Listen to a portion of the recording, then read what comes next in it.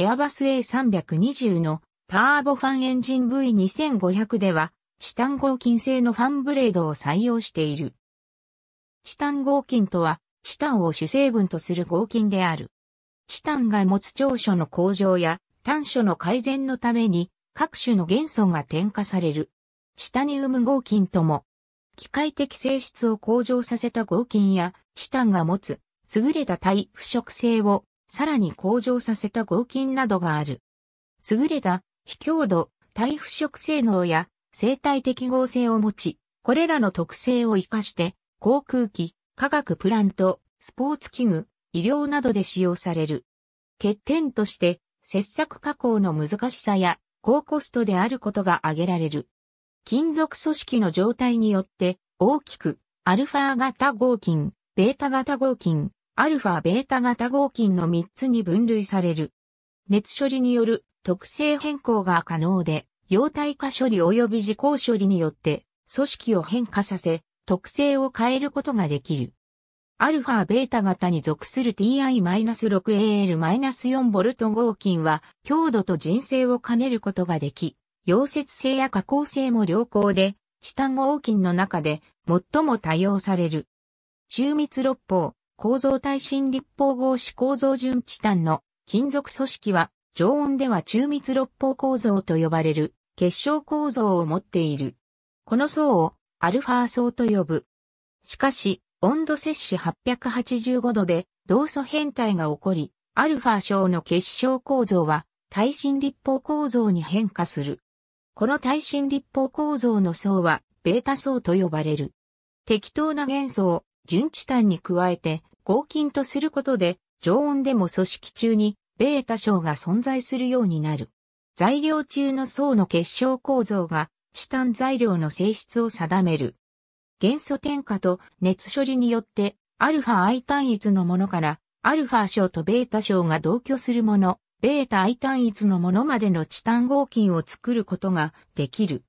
チタン合金の種類は、これらの金属組織によって、アルファ型合金、ベータ型合金、アルファベータ型合金の3つに大きく分けられる。ただし、これらの3つの種類の境は必ずしも明確ではない。アルファ型とアルファベータ型の間に2アルファ型合金を4つで分類する場合や、さらにアルファベータ型とベータ型の間に2アベータ型合金を置いて5つで分類する場合もある。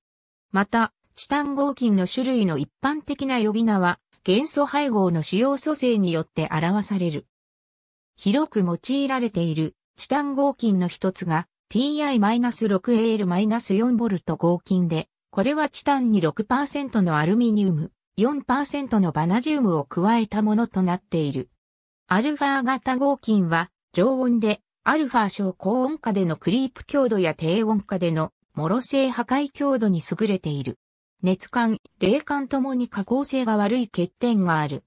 アルファ型合金の代表例としては TI-5AL-2.5 SN 合金が挙げられる。ベータ型合金は常温でもベータ小をほぼ100%持つチタン合金である。室温の平行状態がベータ単層である。安定、ベータ型合金と室温の平行状態はアルファベータ小である純安定、ベータ型合金に分かれる。ベータ小が持つ耐震立方合子構造のため、結晶内の滑り面が多く、加工がしやすい。熱処理を施すことによって、チタン合金の中でも最大硬さを出すことができる。アルファ型合金やアルファベータ型合金よりも弾性率が低い。アルファベータ型合金は常温でアルファ小とベータ小が共存するチタン合金である。アルファ型合金とベータ型合金の特徴をバランスよく組み合わせることができる。製造上の調整がしやすく、扱いやすいとされる。代表例として、前述の TI-6AL-4 ボルト合金が挙げられる。さらに細かい分類としては、アルファ型とアルファベータ型の間に2アルファ型合金と呼ばれる種類があり、アルファベータ型とベータ型の間に2アベータ型合金と呼ばれる種類がある。室温で大部分がアルファ章を持つのが2やアルファ型合金で、大部分がベータ章を持つのが2やベータ型合金である。2やアルファ型合金としては TI-8AL-1 モー -1 ボルト合金などがあり、クリープ特性や高音強度に優れている。2やベータ型合金としては TI-10 ボルト -2FE-3 AL 合金などがあり、熱処理により高強度を得ることができる。チタンの最も優れた特徴の一つとして、極めて優れた耐腐食性がある。チタン自体は活性金属だが、チタン表面に不動体被膜が形成、保持されるため、チタン本体は腐食から保護される。耐食用材料には、チタン合金よりも工業用純チタンが使用されることが多いが、チタンは塩酸や硫酸といった非酸化性の酸には腐食される。こうした環境に対しても耐食性を向上させるためにパラジウム、ルテニウム、白金、モリブデン、ニッケルといった元素を添加する。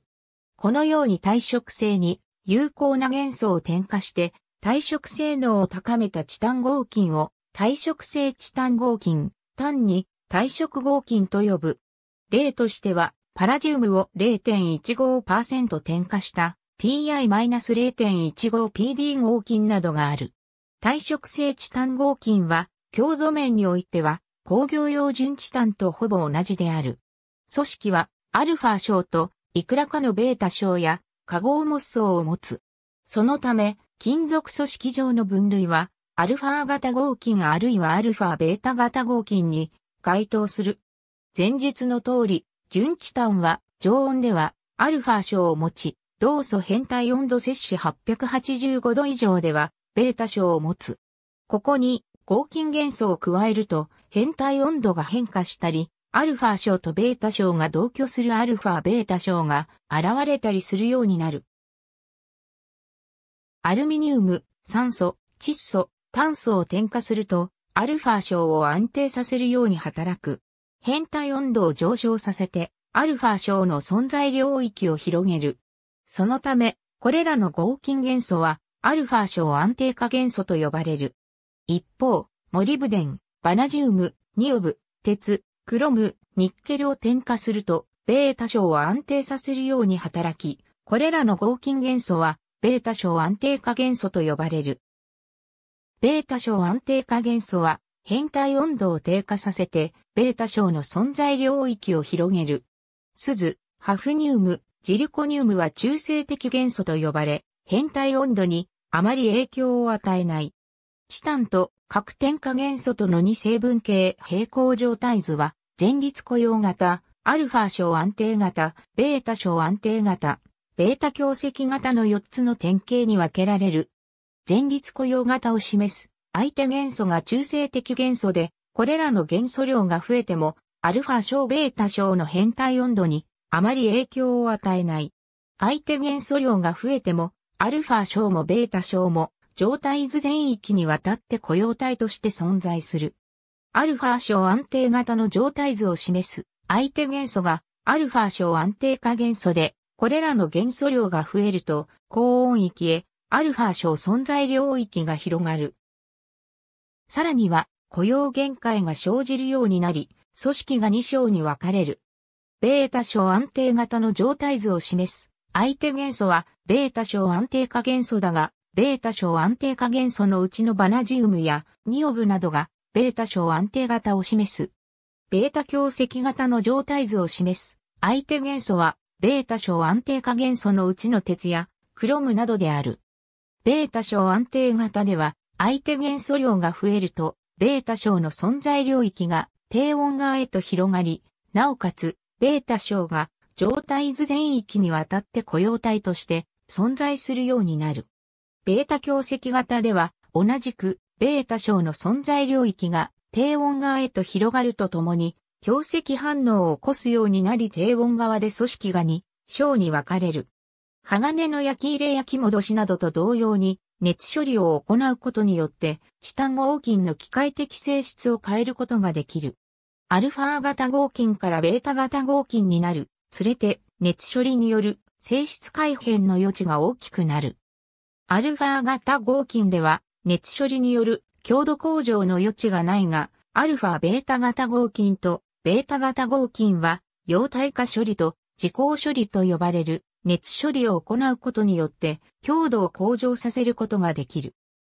溶体化処理とは材料を加熱保持することによって溶質元素を均一に雇用させ、その後急冷させる熱処理のことで、自行処理とは溶体化処理された材料が時間とともに材質が変化することを利用した熱処理のことである。高強度を得る目的では、ベータ型合金の場合は、ベータ小アルファベータ小の変態温度直上まで温度を上げて、アルファベータ型合金の場合は、ベータ小アルファベータ小の変態温度直下まで温度を上げて、溶体化処理を行うのが一般的である。さらに、ベータ型合金の場合は440摂氏530度程度まで、アルファベータ型合金の場合は430摂氏650度程度まで再度温度を上げ、一定時間保持して自行処理を行う。ベータ型合金に溶体化自行処理を行うと、ベータ小の中にアルファ小が微細析出する。これによって硬化し、高強度となる。どのような強度となるかは、析出するアルファ小の大きさ、形状、溶積率に左右される。アルファベータ型合金の場合は、熱処理によってどのような組織が得られるかは、ベータ小の安定度によって異なる。ベータ小の安定度が比較的高い場合は、ベータ型合金に近い組織変化が起こる。溶体化処理後には、ベータ小が残留し、自行処理によって微細なアルファ小が析出する。ベータ小安定度が比較的低い場合、溶体化処理後にベータ小がマルテンサイトのアルファ I あるいはアルファ小や微細なハリチョウアルファ小などに変化する。さらに、組織を安定化させるために自行処理を行い、マルテンサイトをアルファベータ小に分解させる。ベータ型合金とアルファベータ型合金ともに熱処理を適切に施さなかった場合、オメガモロ性と呼ばれる税化が起こるので注意を要する。これは、オメガ層と呼ばれる、六方小系の層によって引き起こされる。オメガ層には2種類ある。一つは、アルファベータ層の領域を持つ、チタン合金を急冷して、ベータ層を残留させる過程で無拡散変態によって現れるもので、非熱的、オメガ層やアサーマルオメガ層と呼ばれる。もう一つは、純安定なベータ小を摂氏400度以下で自行処理した時に拡散変態によって現れるもので、熱的オメガ層やアイセサーマルオメガ層と呼ばれる。他には、一定温度まで加熱後、保持後に除冷させる焼け生しも行われる。応力除去焼き生し、安定化焼き生しなどが行われる。回 -22 戦闘機では、重量ベースで機体の39%で、チタン合金製部品が使用されている。工業用純チタンを含め、その軽量、高強度、耐腐食性を利用して、チタン合金は航空機用途に広く使用される。チタン合金と航空機のつながりは深く、チタン合金は航空機の発展とともに開発され、適用が拡大してきたと言っても過言ではないと評される。軍用機も民間機も、共に、チタン合金の適用は広い。重量で計算して、回 -15 戦闘機では約25%、回 -22 戦闘機では約40%がチタン合金製となっている。民間機ではコストのため軍用機ほどは適用拡大は進んでいない。温度摂氏600度以下のターボファンエンジン前半部にあるファンや圧縮機でチタン合金が使われている。その他、ランディングギア、パイロン、コクピットの窓枠、ボルト類などで使用されている。近年の民間航空機では、炭素繊維強化プラスチックの適用が拡大しているが、CFRP とのガルバニック腐食が起きにくい。CFRP との熱膨張差が小さいなどの利点をチタンは持っている。このため、CFRP の適用拡大に合わせて、チタン合金の適用も拡大している。チタン合金製の股関節用の人工関節チタン材料は、優れた生体適合性を持つため、強度が必要な整形外科用の材料として利用されている。強度が必要となる人工関節や骨折固定器具などのために1970年代より TI-6AL-4V 合金が使用されている。さらに人体に影響のあるバナジウム溶質の可能性を完全に排するためにバナジウムを含まない TI-6AL-7 NB 合金なども開発され利用されている。人工歯根用には工業用純チタンの使用率が多いが TI-6AL-4V 合金も使われている。ゴルフクラブにもチタン合金が使われており、チタンを最も使用しているスポーツはゴルフと言われる。特にヘッドにチタン合金を使用した一番ウッドは1990年に初めて販売されて以降数多く市販されている。チタンの高い非強度を利用して重量増を抑えてヘッドを大きくしスイートスポットを広げることができる。ヘッドのボディには TI-6AL-4V 合金が、フェースには TI-15MO-3CR-3 AL-3SN 合金などが使われている。ゴルフクラブ用に開発されたチタン合金もあり、ベータ型合金の TI-15V-6、CR-4L 合金などがある。他のスポーツやレジャーでは、自転車の高級モデルや釣り具でチタン合金が使われている。深海6500は耐圧角に TI-6AL-4V 以来合金を使用している。チタン材料は海水に対して高い耐腐食性を持つ。そのため海洋、船舶分野での利用拡大が探られている。北海油田の海洋掘削装置の一つでは、ライザーパイプに TI-6AL-4V 以来合金を用いている。旧ソ連の潜水艦では、チタン材料を採用していた。日本の深海潜水調査船、深海6500では、耐圧角に TI-6AL-4V 以来、合金が採用された。チタン合金の海水腐食への耐性及び高い、非強度を利用して、超高張力鋼の 10Ni-8CO 鋼を採用する場合に比較して約1トンの軽量化を達成している。一方で、船舶分野全体としては、主にコストを理由に、チタン合金利用は広くは普及していない。化学プラント分野では、チタン材料利用が普及、一般化している。ただし、耐腐食性が主なチタン材料利用の理由であるため、チタン合金よりも工業用純チタンの利用が一般的となっている。強度が求められる各半軸などで TI-6AL-4V 合金の採用例がある。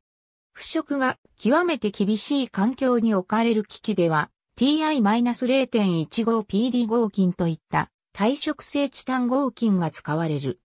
ただし PD は高価なため CO などの廉価な元素で代用した耐食性チタン合金も開発されている。各国の工業規格においてチタン及びチタン合金に関する規格が定められている。